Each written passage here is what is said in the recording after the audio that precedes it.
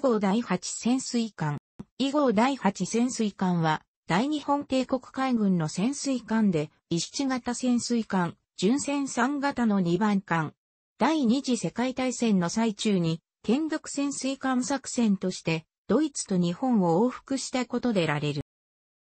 1934年、昭和9年の丸に計画により、同年10月11日川崎造船所に適港し、1936年、昭和11年7月20日浸水、1938年5月27日、偽装院事務所を神戸海軍監督官事務所内に設置しこと開始。同年6月1日、艦型名が石型に改正。同年12月5日に竣工した。竣工と同時に横須賀鎮守布石となり、第2艦隊、第2潜水船隊に編入された。1939年、昭和14年11月15日、伊八は横須賀鎮守府部隊所属となる。1940年、昭和15年10月11日、横浜港沖で行われた紀元2600年特別艦艦式に参加。11月15日、伊八は第6艦隊第3潜水船隊に編入。1941年、昭和16年10月3日、伊八は大クジラから第3潜水船隊機関を引き継いだ。太平洋戦争開戦時は、第6艦隊第3潜水船隊機関。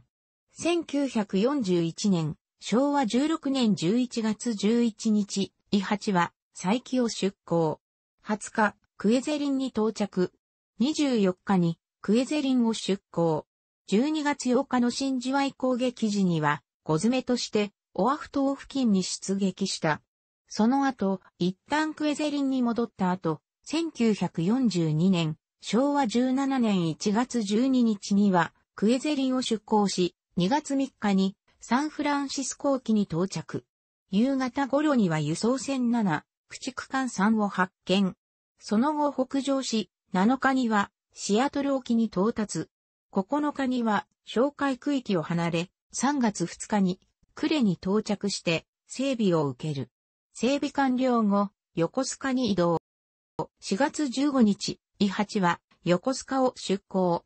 航行中の4月18日、同リットル空襲が起こったため米機動部隊の捜索を行うが、見つけることはできなかった。その後、第3潜水戦隊司令官、三輪野重義少将が病気を患ったため横須賀に反転。症状が重かったため、第3潜水戦隊司令は26日に河野1000万条少将に交代となった。その後、再度横須賀を出港して、クエゼリンに向かう。5月6日、ルオット島で第11航空艦隊の一式陸上攻撃機に誤爆される。60kg 爆弾8発を投下され、イハは先行不能となってしまったため反転。16日に呉に到着し、修理を受ける。同日、連合艦隊第5潜水船隊に編入され、第3潜水船隊の機関は、旧挙動船隊に編入した11に変更される。7月10日、第5潜水船隊の解体に伴い、南西方面艦隊付属となる。8月20日、第6艦隊付属となる。修理完了後、再起に移動。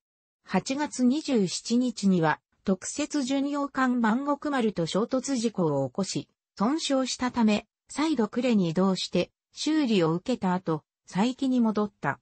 9月15日、再起を出港。18日には、トラック島に到着。その後出港し、ガダルカナル島方面での紹介任務に就く。11月2日には、エファテ島ポートビラとハバンナを航空偵察。1943年、昭和18年1月23日には、関東島を砲撃した。3月21日には、呉に到着し、整備と剣読作戦に備えた改造を受ける。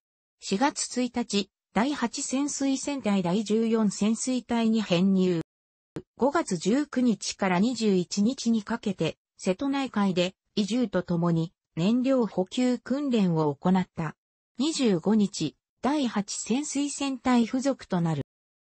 1943年6月1日に第二次砲毒潜水艦として呉を出港。目的はヒトラーから無症状とされる U ボート優先224日本名、旅号第501潜水艦の日本海溝の搭乗員、乗田貞俊詳細下51名の輸送の他であった。作戦中の暗号名はリラ。この作戦のために3月21日より、呉海軍交渉で魚雷発射管室を居住区にするなどの改造を行った。艦長の内野新次大佐と士官は、パリ経由でベルリンを訪問し、カール・デーニッツ海軍総司令官と面会する。この訪問の最中、9月8日にイタリアが無条件降伏している。このほか、通信長の桑島仁さん対多数名が、ベルギーのオーステンでの電波兵器学校に派遣され、レーダー装置の取り扱い訓練を受けている。旅号第501潜水艦の開港要員のほか、積み込んでいた酸素魚雷、潜水艦自動、剣釣り装置、図面、鈴、天然ゴム、キララ、キニーネ等がドイツ側に提供された。ドイツ側からの提供品として、S ボート用のダイムラーベンツ製、ディーゼルエンジンメガバイト501、電波探知機、メトックス、エリコン20ミリ機銃等が搭載された。また、5甲板にはドイツから譲渡された20ミリ4連装対空機銃が装備された。両501に、乗田貞俊詳細下51名を以上。呉に到着後、三井造船玉野造船所に開港されて、整備と復元が行われた後、呉に戻った。有泉が艦長であった期間に、以下の事件が起きたとされる。この二つの殺傷事件には、背景があった。1943年9月、有泉の上司にあたる第8潜水戦隊司令官、一岡受賞賞42機は、東京の軍令部首脳からドイツのリッペントロップ外相から日本に対して連合国の商船を撃沈した場合、乗組員も全滅させてもらいたいという要請があり、海軍も同意した。機関もそのつもりで敵戦乗員の処分は徹底的にやってもらいたいと言われていた。ドイツは大西洋で U ボートによりいくら、米、A の船を撃沈しても新たに大量に建造されるので効果が現れない。そこで船員を殺すことを考えついたわけである。ドイツ側から要請があったことは、戦後の軍事裁判で、米国の弁護士が明らかにした。このような背景により、E26 や E37 でも同様の事例が発生した。同時期における似たような事例としては佐合作戦において発生したビハール号事件があった。有泉は指令として登場していたイオン101で終戦を迎え、米軍の接収後に自決した。この事件については、戦中から連合国の抗議が行われていたが、第8潜水戦隊の副官であった近藤道夫は自決してい、有泉に責任を負わせている面があること、有泉自身は敵戦乗員の処分に反対していたことを証言している。1942年3月から1943年6月まで第6艦隊司令長官を務めた小松照久中将37期。北白川宮の第4子は戦後この事件の責任を問われ横浜の軍事法廷は重労働15年を言い渡した。また、一岡少将には1948年2月、重労働20年の判決が言い渡された。直接関係のない前任者の石崎昇少将42期にまで重労働10年の刑が課された。戦後、戦犯裁判の対策に当たっていた。副委員長。第二副委員局の豊田熊尾大佐が第六艦隊参謀長だった。三戸受中将に確認したところ、確かに軍令部から派遣された参謀からそのような口頭命令があったと現場の艦長が口頭命令で、そのようなことはできないと反発したので仕方なく、命令書を作成したことを内密に打ち明けたという。1945年3月20日アメリカ軍の沖縄来航により、再起を執行した。3月28日1805、輸送船に駆逐艦4の船団を那覇から150海里離れた地点で発見したという報告を最後に、日本側からは消息不明となる。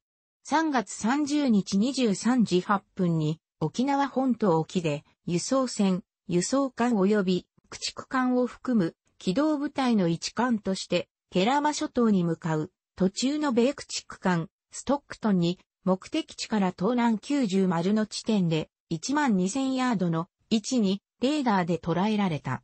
米機動部隊司令官は対外通話でこの見慣れぬ艦に話しかけようとした。なぜなら、この海域は友軍船団の集結地点だったからである。しかし応答はなかった。ストックトンは目標を追跡せよとの命令を受けた。直ちに返信すると、先行しようとする一隻の潜水艦が映った。3月30日の夜間23時39分から翌日の暁2時39分の間、駆逐艦ストックトーンは震度70爆雷攻撃をもって先行中の E8 に対して攻撃した。7回目の攻撃の後、海面に重油が吹き出し、E8 は損傷した。やがて、米対戦攻撃機が照明弾投下のため現場に飛来した。新たに近接してきた駆逐艦はストックトンを援護するように命令を受けた。指定集結地点に到着すると、モリソンは、高校と照らし出されている E8 を発見し、ストックトンが照明攻撃を指揮しているところであ。ストックトンは E8 との接触を見失った。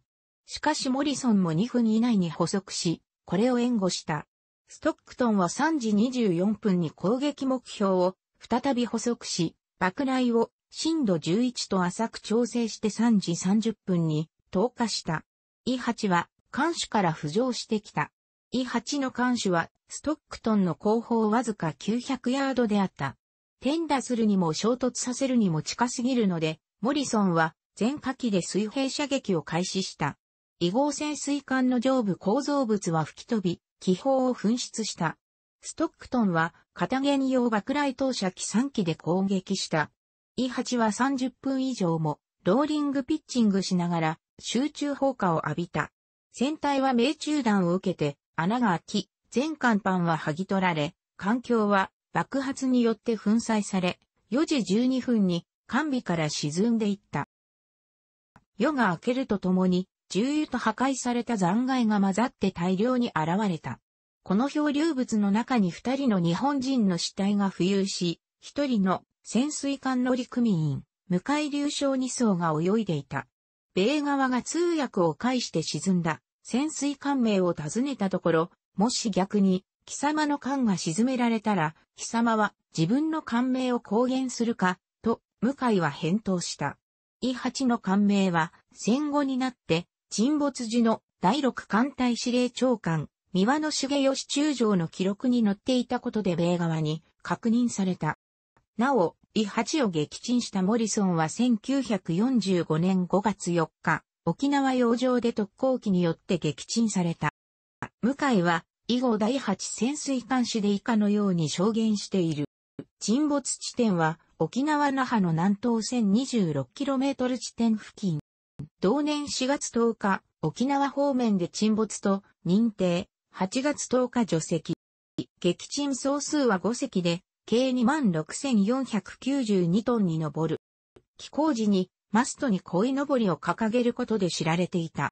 楽しくご覧になりましたら、購読と良いです。クリックしてください。